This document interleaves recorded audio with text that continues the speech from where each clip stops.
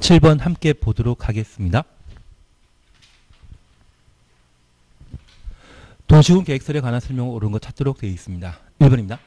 도시 지역의 장사시설, 종합의료시설, 폐차장, 장사실부터 폐차장까지 가로 해놓습니다.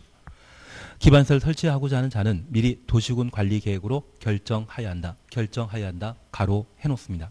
맞다. 틀리다. 틀리다. 우리 야소였습니다.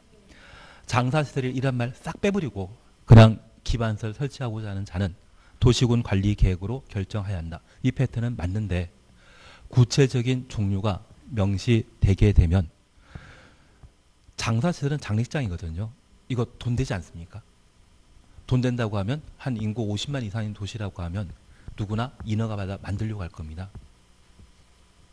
특광시군에게 개발이 허가받아 장사시설 만드는 경우도 있기 때문에 결정해야 한다. 이 말 나오면 바로 틀린 것으로 이해되시겠습니까? 종합병원 운영하면 돈 된다, 돈 안 된다. 인구 10만인 동네는 적자이고요. 인구 50만 이상인 곳이라고 하면 돈 남습니다.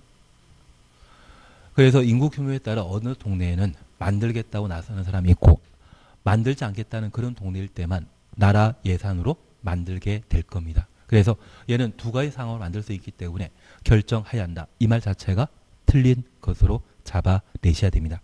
2번입니다. 도시군 계획설 결정 구실부터 10년 이내 도시군 계획설 사업에 대한 실시계 인가만 있고 그 사업이 시행되지 아니한 경우 매수 청구권이 인정된다. 틀립니다. 하나 이해하실 것이 있습니다. 우리가 매수 청구에 관한 사항을 잠깐 앞서 시간에 정리하셨는데 여기 매수 청구는 민법의 매수입니까? 수용입니까? 수용이 되게 됩니다. 여기 매수 청구와 관련되어서는 우리가 민법 시간에 청구권에 관한 내용을 들어보셨는데 이 매수 청구는 청구권자와 그 상대방을 우선 구분하는 것이 대상을 정리하는 방법입니다. 여기 매수 청구와 관련되어서는 10년간 장기 미집행 도시군 계획설 사업을 장기 미집행이라 표현하고 그 지목 대인 토지 소유자는 매수 청구할 수 있는데 우리가 하나 이해하실 것이 있습니다. 도시군 계획설 부지로 결정되게 되면 건축물과 공작물을 설치할 수 없습니다. 만약 지목이 전답 과손이라면 농사 짓는 땅이거든요. 건물 건축할 필요 없기 때문에 건축물 건축 제한이라는 도시군 계획설 부지의 공법상 규제는 그 사람은 체감하지 못합니다. 이해되시겠습니까? 만약 지금 마스크를 일주일에 하루 두 장 구입하라 하는데 매일 사용하시는 분은 그 마스크 구입 제한이 규제라 생각할 수 있습니다. 근데 나는 일주일에 밖에 하루 이틀만 나간다. 그래서 마스크가 일주일에 달랑 하나 두 장만 필요하다고 하면 구입 제한 규정은 규제이다 아니다. 아닙니다. 그러면 지목대인 땅은 건물 건축하는 땅이거든요. 그래서 우리 청와대라고 하는 건물 들어본 적 있습니다. 그때 대자가 건물 대자입니다. 지목대인 땅은 건물 건축하는 땅인데 도시군 계획설 부지로 결정되어 건축물 공단을 설치하지 못한다고 하면 이분만 규제를 느끼고 있는 겁니다. 그래서 모든 토지가 매수 청구 가능한 것이 아니라 지목대인 토지인 경우에만 매수 청구권이 인정되게 됩니다. 땅만 매수 청구할 수 있다. 건물도 포함한다. 주종 관계를 기억하시게 되면 건축물이 주입니다. 그래서 건축물도 함께 매수 청구할 수 있습니다. 그 상대방은 도시군 계획시설은 도시군에 만드는 것이죠. 그래서 도시군을 책임지고 있는 특광시군이 매수 상대방이고 시행자 이미 결정된 상태라면 시행자에게 고속도로라고 하면 도로공사에게 매수 청구할 수 있죠. 이렇게 매수 청구하게 되면 그 매수 청구 있은 날부터 6개월 내 매수 여부 결정하여 토지 소유자와 특광시군에게 매수 여부를 통지하도록 되어 있습니다. 왜 특광시군에게 매수 여부 결정 통지하는지 그걸 이해해 주셔야 됩니다. 그리고 매수하기로 결정했다고 하면 2년 내 매수하여야 합니다.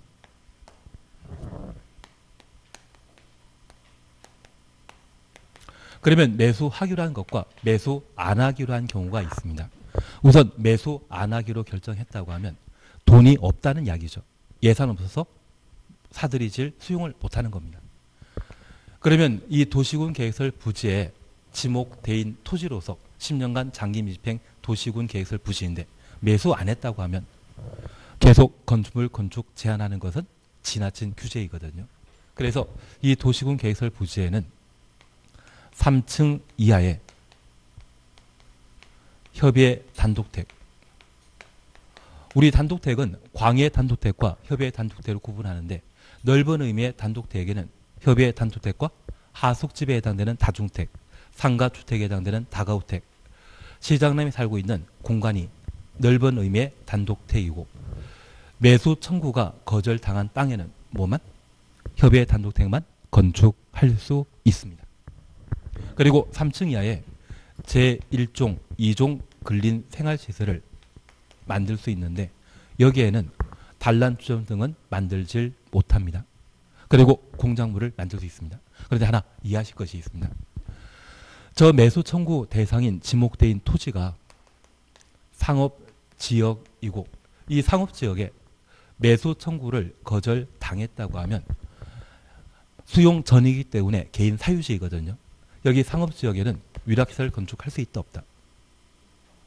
있습니다. 그런데 매수 청구 거절된 상업 지역의 땅은 뭐만? 협의 단독택과 뭐만? 1종, 2종 근린 생활설만. 그리고 크기는 작은 것. 왜냐하면 아직 도시군 계획설 부지가 효력 상실하기보자 한다면 20년 지나야 되거든요. 지금은 매수 청구가 거절당했지만 1년 지나 또는 한 달 지나 여기에 도시군 계획설 만드는 경우가 있을 겁니다. 지나치게 큰 건물 만들어지고 상업지역이라고 위락세를 함부로 만들게 되면 실제 그 건물 철거했을 때 시행자가 보상금 지급해야 되는데 그 보상 규모가 아주 커져버립니다. 그래서 작은 이런 것들만 만들 수 있는데 그냥 만들겠습니까? 특광시군에게 허가 받아 만들겠습니까? 특광시군에게 허가 받아 만듭니다. 그동안 특광시군은 도시군 계획설 부지이기 때문에 건축물, 건축 개발 행위 허가 신청하게 되면 허가 안 내줬거든요. 허가를 안 내줬던 땅에 이제 허가 내줘야 될 상황이라는 것을 매수 의무자가 알려주는 차원에서 매수 청구 있으면 6개월 내 토지 소유자에게만 매수 여부 결정 통지하는 것이 아니라 누구에게도 특광시군에도 함께 알려줌으로써 매수 청구를 거절 당한 토지 소유자가 3층 이하의 단독택과 1종, 2종 근린사를 만들겠다고 하면 허가 내줄 준비해야 되거든요. 그래서 특광시군에게도 알려주도록 되어 있습니다. 그리고 매수하게 되면 현금 매수하고 매수 가격은 얼마? 공시법이 정하는 가격으로 시가의 반값입니다. 다만 현금 지급하는 것이 원칙인데 예외적으로 도시군 계획 시설 채권을 발행하는 경우가 있습니다. 여기 도시군 계획설 채권을 발행하게 되면 그 발행은 매수 의무사가 지방 자치 단체인 경우로서 매수 아, 매수 청구권자의 소유자가 원하거나 비업무용 토지 등이라고 하면 3천만 원 초과하는 부분에 대해서만 채권 발행할 수 있습니다. 그리고 이 매수 아, 도시군 계획설 채권을 발행하게 되면 시가대로 발행하겠습니까? 공치법이 정하는 가격입니까? 공치법이 정하는 가격 반값입니다. 그리고 이 도시군 계획설 채권은 그 상환 기간을 10년을 하는데 하나 이해하실 것이 있습니다. 우리가 땅에 투자하게 되면 20, 30대에 투자하겠습니까? 4, 50대에 투자하시겠습니까? 4, 50대에 투자하는데 만약 20대, 30대에 투자했다고 하면 그분은 숟가락 색깔이 일반인 색깔이 아닙니다. 숟가락이 참 좋은 숟가락일 겁니다. 그러면 40대 중반에 투자하셨다고 하면 그 투자한 다음 날 도시군 계획설 부지로 결정되는 불운한 분독이십니다. 그리고 그 땅이 지목대인 토지일 때 10년 지나면 이제 내 땅 강제 수용해 달라고 매수 청구할 수 있거든요. 그리고 10년 흐르면 나이가 50대 중반이고 이제 매수 청구하게 되면 6개월 기다려야 되고 매수 여부 결정에 대해 매수하기로 결정했다면 2년 내 매수하면 2년 6개월이면 어느덧 60이 되게 되는데 이 법이 제정된 시기가 2003년도입니다. 2003년도에는 환갑잔치가 중요한 행사였다? 취급도 안 했다. 2003년, 20년, 거의 20년 전이라고 하면 중요하지 않았겠습니까? 그래서 비업무용 토지, 그리고 비부재 부동산 토지 소유자에 대해서는 3천까지는 현금 땡겨주는데 그 현금 가지고 뭐 해라? 환갑 잔치 해라. 그리고 이 땅이 만약 1억짜리 땅이라고 하면 3천은 현금 땡기고 7천은 10년 뒤에 상환해 주거든요. 그 10년 지나면 이제 뭐 해야 되겠습니까? 칠순 잔치 하라고 도시군 계획설 채권의 상환 기간은 몇 년을 한다? 10년을 합니다. 그래서 진짜 이 법이 인간적이라는 것은 이해되시겠습니까? 그래서 저 인간적인 법을 공부할 때 우리가 기억하실 것은 도시군 계획설 채권은 매수 의무자가 지방 자치단체인 때만 국토교통부 장관이나 주택공사는 채권 발행하는 자 아닙니다. 그래서 도시란 말로 시작하는 채권은 항상 지방 자치단체가 발행자라는 것 기억해 놓으시고 토지 소유자가 원하거나 비용을 초지일 때 3천만 원까지는 현금 초과하는 부분에 대해서만 채권 발행할 수 있고 상환 기간은 10년이다. 그렇게만 정리해 주시는 게 여기입니다. 그래서 우리 2번 2번 우리 이제 2번 봐주시는데 여기 매수 청구와 관련되어 실시계획 인가되었으면 바로 뭐 하겠습니까? 실시계획 인가 되었으면 바로 고시하고 고시하면 그와 동시에 뭐 한다? 수용할 상황이거든요. 그러면 한 달 안에 고시하고 땅을 강제 수용하게 되면 한 달 만에 수용당하는 것과 매수 청구하는 것 중에 매수 청구하면 2년 6개월 걸려야 됩니다. 그리고 보상받는 것은 반값.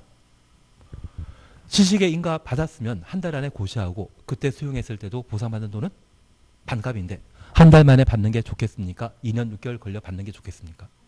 한 달 만에. 그래서 이런 경우는 매수 청구권 인정한다 안 한다? 안 한다. 우리 도시군 계획서 사업은 총 몇 단계로 이루어진다? 3단계. 그 중에 수용과 관련되어 수용 대상은 도시군 계획설 부지만 수용할 수 있고 인접한 토지 건축물은 일시 사용 대상이지 일시 사용 대상이지 수용할 거 아니죠. 그리고 수용하고자 할 때 도시군 계획설 사업 시행자가 진행할 절차는 실시 계획을 뭐 하면 뭐 하면 고시하면 바로 3단계인 수용할 수 있거든요. 그러면 지금 실시계 인가가 이루어진 상태라면 고시는 한 달 안에 이루어집니다. 2년 6개월 기다리 2년 6개월이 낫다. 한 달 기다리 낫다. 한 달. 그래서 이런 경우에는 매수 청구권 있다 없다.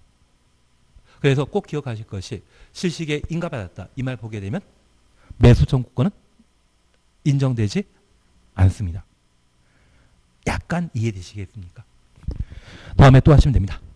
지금은 포인트가 실시계 인가만 있고 인가는 행정 행위, 행정 처분이고 이제 준 법률 행위로서 고시를 해야 되는데 그 고시는 한 달 안에 이루어지거든요.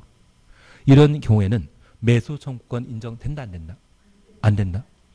한 달 기다리는 게 낫지 2년 6개월 기다리는 것보다는 훨 낫지 않겠습니까? 3번 제기십니다. 지방의회 해제 권고에 대해서는 그냥 지키십니다. 다만 우리 기억하실 게 장기 미집행 시설이란 말을 보게 되면 몇 년간 사업 안 했다? 10년. 그리고 4번 지키십니다. 비용 부담에 대해서는 신경 쓰질 마십시오. 신경 쓰지 마십시오. 그리고 5번입니다. 5번도 지키십니다. 그래서 옳은 것은 신경 쓰지 말자인데 하여튼 4번은 4번인데 하여튼 이거 4, 5번은 신경 쓰지 마십시오.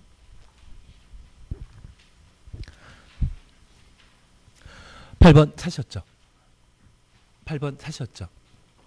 도시군 계획설 결정 실효에 관한 설명을 오르면 찾도록 되어 있습니다. 1번입니다. 도시군 계획설 결정 고유된 도시군 계획설에 대해 고실부터 10년 지날 때까지 사업 시행되지 아니한 경우 그 결정은 효력 잃는다. 계획설 사업은 몇 년간 안 하면 20년간 안 하면 20년 되는 다음날 효력 상실하죠. 10년 아닙니다. 그리고 2번입니다. 이건 필요 없는 이야기입니다. 다만 잠깐 봐주시면 아. 지방의회는 한 줄 밑에 단개별 집행계획 수립하였다. 단개별 집행계획 수립하는 자는 지방의회입니까? 입안권자입니까? 입안권자. 이해되시죠? 되신 걸로 알고 있겠습니다. 3번입니다. 장기 밀집행 도시군 계획설 해제 공, 고, 해제 권고. 해제 권고는 지방의회가 하는데 얘는 옛날 이야기이기 때문에 신경 쓰지 마십시오. 다만 잠깐 보십니다. 시장 또는 군수는 그 시설 해제를 위한 도시군 관리 계획 결정을 국토교통부 장관에게 신청하여야 한다. 여기 시장 군수는 도에 속해 있는 시장 군을 말합니다. 도의사에게 신청해야 되겠습니까? 국장에게 신청해야 되겠습니까? 도의사에게. 만약 도의사 건너뛰고 국장 바로 찾아가면 그것 패싱입니다. 패싱하면 된다 안 된다? 안 됩니다. 행정청은 계급이 있기 때문에 시장 군수 나오면 그 위에 도의사에게 시도의사가 장관 찾아가야 되는 것이 기본적인 위계 질서가 되게 될 겁니다. 그래서 3번 틀린 것으로 4번입니다. 아, 4번입니다. 얘도 시험에 안 나올 이야기인데 그냥 보십니다. 장기빈생 도시군 계획설 해제 신청받은 도의사, 도의사는 특별한 사유 없으면 신청받은 날부터 1년 내 1년 동그라미 해놓습니다. 도시군 계획설 결정 해제에 위한 도시군 관리계획 결정해야 한다. 그래서 시장 군수가 도의사에게 해제 신청하면 처리가는 얼마? 1년. 그렇게만 하나 확인해 놓습니다. 그래서 4번 옳은 지문입니다. 5번입니다. 시장 군수는 도시군 계획설 결정 효력 이르면 고시해야 한다. 고시는 입안권자 하는 것입니까? 결정권자가 하는 것입니까? 결정권자. 그래서 시장 군수는 도시군 계획설 사업과 관련되어서는 입안권자이지 결정권자 아니거든요. 시료 고시는 누가 한다? 국토교통부 장관, 시도의사, 대도시장 이들이 결정권자로서 시장 군수가 아닌 국장, 시도의사, 대도시장입니다. 이들이 시료 고시하도록 되어 있습니다. 취지 이해시겠습니까? 진짜 알고 가시는 거죠. 시장 군수 끝나게 되면 이분은 결정권자이다, 일반권자이다. 일반권자. 일반권자 는 것은 딱 세 가지입니다. 첫 번째, 지원돈 작성하는 것. 두 번째, 단계별 집행계획 수립하는 것. 세 번째, 도시군 계획설 사업 시행. 그 세 가지만 일반권자하고 나머지는 결정권자가. 지금 시료 고시도, 시료 고시도 누가 한다? 입안권자 할 업무 아니죠. 관할 아니죠. 그러면 결정권자 해야 될 겁니다. 취지 이해되시겠습니까? 9번입니다. 시설 사업에 관한 설명 틀린 거 찾도록 되어 있습니다. 1번 그냥 제끼시고 2번입니다. 도지사는 광역도시계획과 관계된 경우 관계, 시장, 군수의 의견대로 직접 시행할 수 있다. 우리 도시군 개설 사업 시행하는 자는 입안권자이죠. 국토교통부 장관, 시도, 지사, 도의사도 직접 할 수 있죠. 시장, 군수. 그리고 3번 그냥 재미로 보십니다. 시행자는 사업을 효율적으로 추진하기 위해 필요하다 인정되면 분할하여 사업을 시행할 수 있다. 분할 동그라미 해놓습니다.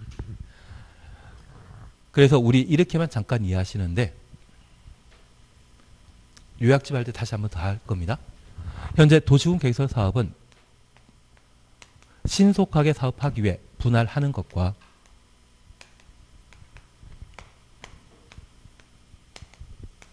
결합, 통합이란 말을 도시군 계획 사업에서 다루게 됩니다.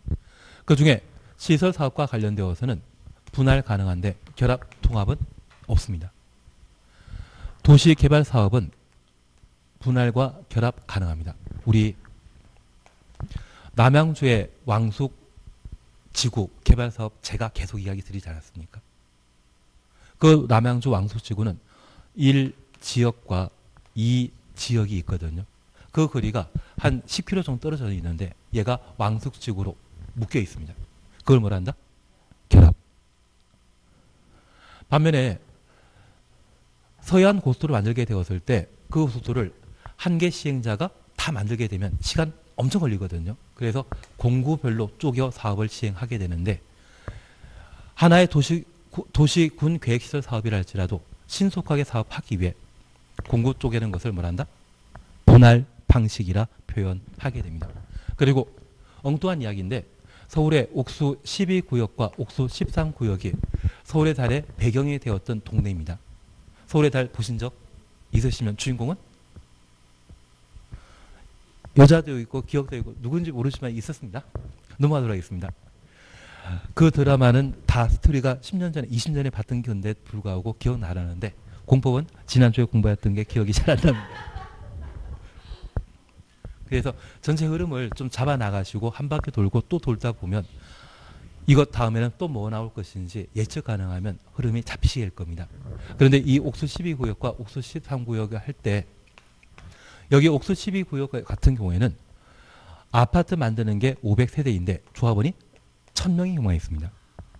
그리고 옥수 13구역의 경우는 아파트 개발 용, 용지는 아 개발 세대는 2000세대인데 조합원이 700밖에 안 되는 경우 있거든요.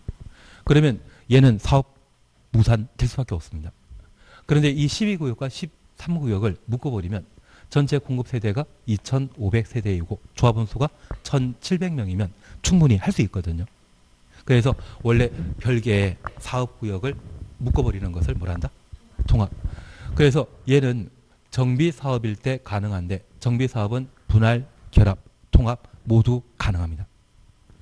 그 중에 시험에 자주 나오는 것이 시설 사업의 분할과 개발 사업의 분할 결합인데 개발 사업에서 분할 이야기를 하면 각각 만 이상 나와야 됩니다. 각각 만. 분할은 각각 만. 그리고 개발 사업에서 결합이라면 하나 이상은 만 이상. 왜냐하면 시설 사업과 개발 사업, 정비 사업은 규모 큰 사업이다, 규모 작은 사업이다. 규모 큰 사업이기 때문에 무엇 이상이란 말 나와줘야 되고 우리가 국토계획법에 개발이 허가받아 건물 만들게 되면 내가 살 집 만드는 것이거든요. 그때는 규모 크다 작다. 작기 때문에 개발의 허가와 관련된 면적 기준은 무엇 미만입니다. 개발의 허가와 관련된 면적은 미만. 도시 개발 사업은 면적 이상. 정비 사업도 이상. 시설 사업도 이상이 나와야 됩니다. 그건 나중에 우리가 하시는데 어차피 문제 나올 겁니다. 5천, 만, 3만이라는 것을 보게 되면 그것 미만이면 개발인 허가 대상. 만 이상 또는 3만 이상, 30만 이상 이 말 나오게 되면 도시개발 사업과 관련된 면적 요건입니다. 대신 지금은 수치에 대해서는 신경 쓰지 마시고 무엇 미만이면 개발의 허가와 관련된 소규모 개발 사업이고 무엇 이상이라면 도시군 계획 사업 규모 크다 작다 크다 이 세 가지를 묶어서 도시군 계획 사업이라고 그때는 무엇 이상 면적 이상이란 말이 나왔을 때 옳은 지문으로 잡아 놓습니다. 예, 그렇게 한번 봐 주시는 게 필요하고 다시 9번에 3번 보게 되면 분할이라는 말 사셨죠. 시설 사업에서는 분할 방식 가능합니다. 결합된다 안 된다. 결합은 개발 사업과 정비 사업에 가능한 것이고 시설 사업에는 오직 뭐만 분할만. 시설 사업은 분할. 만약 시험에 도시군 계획설 사업을 효율적으로 시행하기 위해 분할하거나 결합하여 할 수 있다. 이 말 나오면 틀립니다. 시설 사업은 오직 뭐만 분할만. 개발 사업일 때는 분할 결합 가능합니다.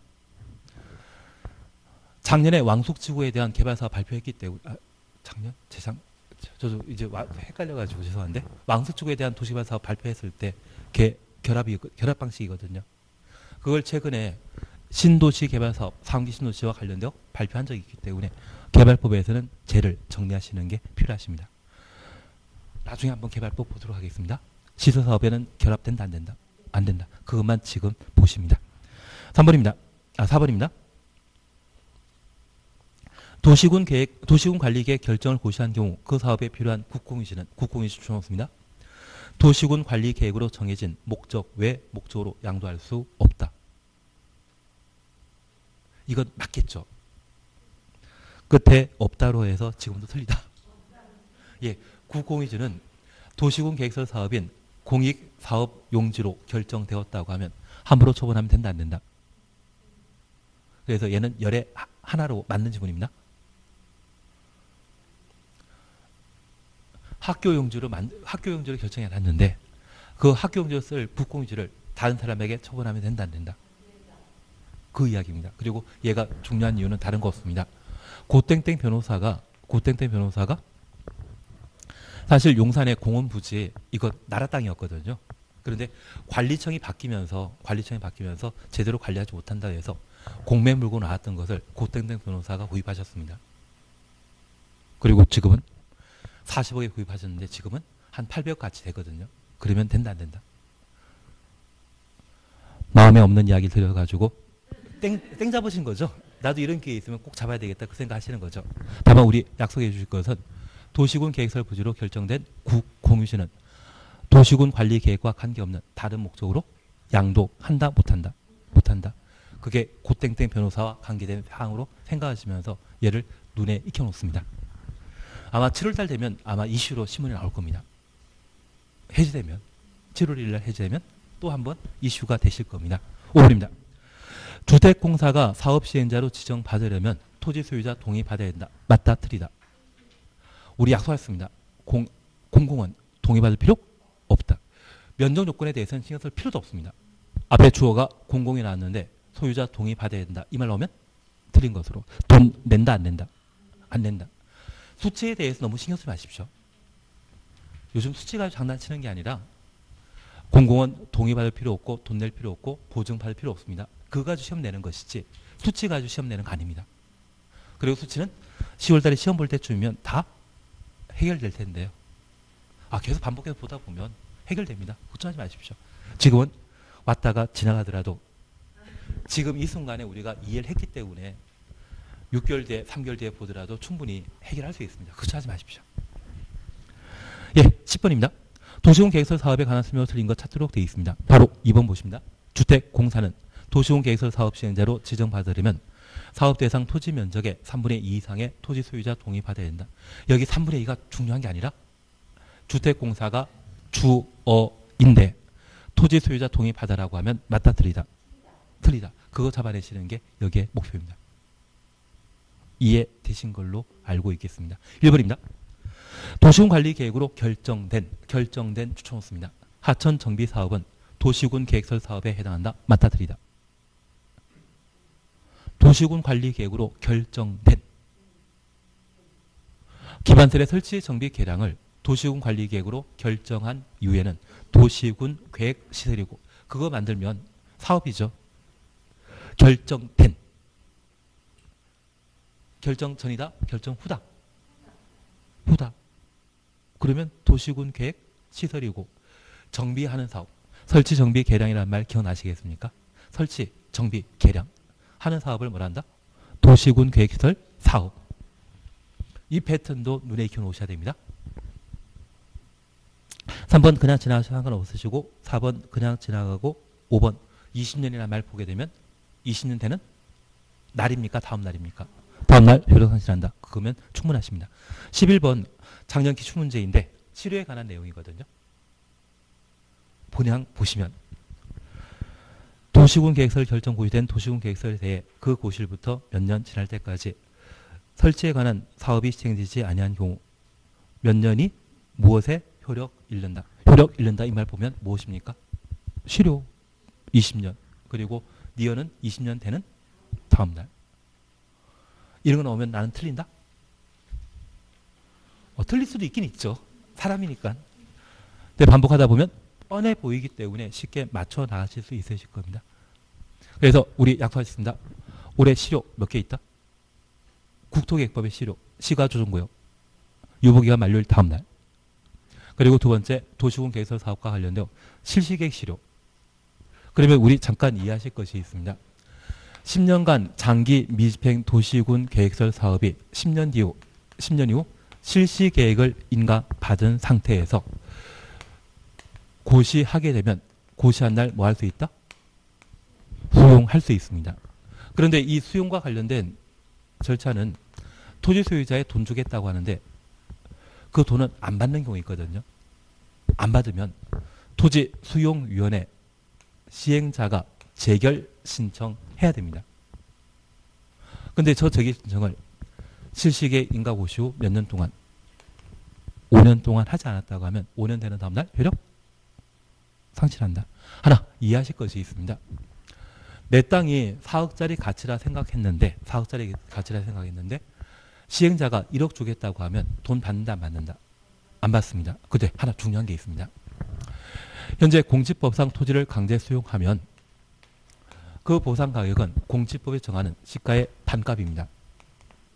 그리고 이 보상금에 대해 서로 다툼이 있으면 토지 수용위원회 그 보상금 1억이 적정하게 책정되었는지 부당하게 책정되었는지 신청하도록 되어 있는데 저 신청은 토지 소유자는 못합니다. 토지 소유자는 못하고 누구만? 시행자만.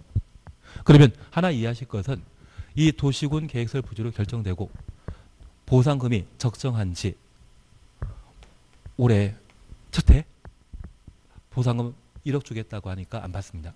그러면 시행자만 재결 신청할 수 있기 때문에 사업 시행 다 끝날 때 효력 상실할 때 20년 뒤에 재결 신청할 수 있거든요. 그러면 20년 동안 토지 소유자는 돈 한 푼 못 받는 상태입니다. 그런데 올해 받느라 20년 뒤에 받으나 그 금액은 같다 다르다. 같습니다. 그래서 시행자가 토지 소유자 고생시키려고 재결 신청을 최대한 늦게 할 수 있거든요. 그런 일이 지금까지 비일비재했습니다. 그런 것들을 방지할 목적으로 10년간 장기 집행 도시군 계획설 사업과 관련되어 10년 뒤에 시시에 인가 받고 고시했는데 시행자가 보상금에 대한 재결 신청을 진짜 천천히 몇 년? 아, 5년 동안 하지 않았다고 하면 얘는 시행자가 토지 소유자에 대한 정당한 보상을 제대로 하지 않았다 해서 5년 되는 다음날 효력 상실하도록 그리고 저 도시군 계획설 부지 중에 3분의 2 이상을 시행자가 소유했다고 하면 그때는 7년간 재결 신청하지 않다면 7년 되는 다음날 효력 상실하도록 올해 개정된 사안입니다. 얘를 무조건 해줘야 됩니다. 조건 10년간 장기 미집행 도시군 계획설 사업으로 10년 후에 70개 인가 보유되고 재결 신청은 원래 누가 하는 것입니까? 토지 소유자 하는 것입니까? 시행자만 하는 것입니까? 시행자만. 그 시행자 권한을 5년 동안 제대로 행사하지 않았다고 하면 땅 강제 수용당한 토지 소유자 입장에서는 진짜 답답하거든요. 그분의 권리를 보호할 목적으로 5년 되는 다음날 효력 상실하고 3분의 2라는 말 보게 되면 그때는 7년 되는 다음날. 얘는 지금 기출 문제이기 때문에 이거 안 나와 있습니다. 기본서에 나와 있습니다. 이번에 개정되었기 때문에 얘는 소유자의 토지 소유자의 권리 보호와 관련된 규정이기 때문에 무조건 시험에 나올 수밖에 없습니다. 대신 이게 시험 내기가 좀 만만한 만만치 않습니다. 나오게 되면 뭐 빈칸 나 빈칸 만들어서 시험에 낼 수도 있을 것이고 아니면 문제 만들게 되면 이런 개념 나올 수 있는데 얘를 눈에 익혀 주시는 게 올해 하실 일입니다. 오늘도 공부하시면서 용도 지역 중에 조례로 세분할 수 있는 대상은 조상 공동만 조례로 세분할 수 있다는 것 기억해 주시는 게 좀 일이 되실 겁니다. 잘할 수 있습니다. 지금 잘하고 있는데 천천히 더 잘하시면 되죠. 예, 그것 보시는 게 필요한 듯 합니다. 예, 12번 함께 보십니다. 아, 아 치료하다가 말았는데 두 도시군 계획설 그리고 20년간 사업하지 않다면 20년 되는 다음 날 효력 상실하고 지구 단위 계획은 구역 지정하고 몇 년? 3년. 내 지구 단위 계획 결정돼야 됩니다. 주민이 입안 제한한 지구 단위 계획은 몇 년? 5년 내 공사 착수해야 되죠. 그리고 기반설 부담 구역이 지정구역이 되면 몇 년? 1년 내 기반설 설치 계획을 수립해야 된다. 국토계획법에서는 총 몇 개? 4개. 시가조정구역, 도시군 계획서 사업, 지구 단위 계획 구역, 기반설 부담 구역 네 군데에서 치료 규정 존재한다라는 것만 파악해 놓습니다. 그 중에 하나를 작년에 기출 문제로 다룬 겁니다. 12번입니다. 도시군 계획서 사업 시행에 관한 설명을 틀린 것 찾도록 되어 있습니다. 1번 보십니다. 지방자치단체 추천오시고 이행보증금 예치하여야 한다. 맞다 틀리다. 나는 이행보증금이 돈인지 선물인지 모른다. 그러면 저도 잘 모릅니다. 이행보증금 뭐 하는 것이다? 돈이죠. 지방공사는 돈 낸다? 안 낸다? 안 낸다. 그리고 2번 찾으셨죠. 광역시장이 단개별 집행계획 수립하고자 하는 때 미리 관계 행정기관장과 협의하여야 하며 협의 추천했습니다. 해당 지방의회 의견 들어야 된다. 지방의회 줄쳐 놓습니다. 근데 우리 지금까지 공부하시면서 각종 행정계획은 누가 수립하는 것입니까? 행정청이. 행정행위는 행정청의 법률행위를 줄여서 행정행위라 표현합니다. 그러면 행정계획을 수립하는 것과 입안하는 것은 같고 행정계획을 승인하는 것과 결정하는 것은 같으며 이러한 행정계획 수립할 때 뭔가 조사하도록 돼 있죠. 땅에 관한 행정 계획을 수립하는 데는 기초조사 그리고 일반 국민의 의견 수렴하도록 돼 있습니다. 그리고 돈 있는지 지방의회 의견 청취 거치도록 되어 있습니다. 그래서 우리 나라에서 돈 주는 곳도 있겠지만 나라에 돈 주는 것은 국회 심의 거쳐야 되거든요. 그리고 지방자치단체에서 돈 주는 것은 지방의회 심의 의견 청취 거치도록 되어 있습니다. 그리고 이렇게 수립된 행정계획을 승인하거나 결정하고자 한다면 협의 그리고 위원회 심의 절차 거치는데 이번에 수립하는 것은 단계별 집행 계획이면 걔는 토지에 관한 계획이다. 돈에 관한 계획, 재정 계획이다. 재정, 돈에 관한 계획입니다. 그러면 조사 측량, 측량할 필요 있다 없다. 측량할 필요 있다. 돈에 관한 계획이기 때문에 측량할 필요 없습니다. 두 번째, 내가 도시군 계획설 부지로 결정된 상태라고 하면 나는 그 사업이 빨리 하는 걸 좋아한다. 10년 뒤에 하는 걸 좋아한다. 빨리 해야만 보상은 받고 그 돈 가지고 대토 사놓으면 10년 기다리는 사이에 땅값 올라갈 수 있거든요. 대신 10년 뒤에 돈 받으면 그 돈이나 지금 받는 거나 똑같거든요. 그러면 이 단결 집행계획 수립하게 되었을 때 도시군 계획설 부지의 토지 소유자는 천천히 해도 된다? 빨리 해야 된다? 다른 의견이 있으십니까? 없으시면 주민 의견 청취할 필요 없다는 이야기입니다. 다 똑같은 의견이면 따로 할 필요 없습니다. 그리고 지방의회 의견 청취한다 안 한다? 단계별 집행 계획은 예산과 관련된 사항이거든요. 얘는 해야 되는 겁니다. 그리고 이렇게 수립한 단계별 집행 계획 등을 확정 짓고자 한다면 협의 심의에 관한 절차가 거치는데 여기 협의 이번에 학교 만들게 되면 그 학교는 누가 관리한다? 교육청이. 그러면 그쪽에서는 교육 기자재와 사람 다 확보해야 되죠. 그래서 그 교육청이 언제까지 그런 인적, 물적 자원이 확충될 것인지 알려주고 그때까지 만들어 달라고 해야 되지 않겠습니까? 협의한다 안 한다? 협의하게 됩니다. 심의한다 안 한다? 여기 심의는 대학 교수님들입니다. 근데 우리 이런 이야기 들어보셨습니까?